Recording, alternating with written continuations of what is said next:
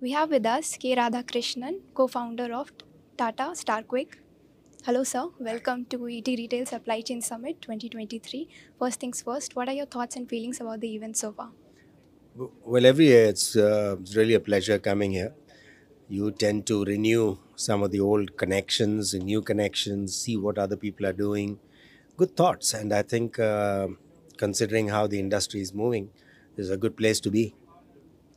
And uh, what exclusive connectivity requirements do you anticipate for retail business in the future?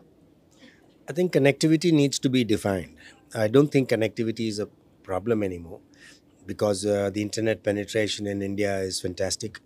The smartphone penetration is probably the best in the world. So I don't think that's a problem. Now it's about getting the speed right. It's got to be much faster in terms of connectivity in the real, literally when we talk about connectivity. But I think the uh, the data quality must be improved and people must learn to use data much better. And um, but I think connectivity is done.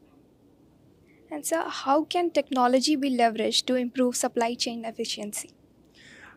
Um, technology has got to be contextual. Depends on your business, and therefore you use the technology. Tech should not never should never let technology define your business.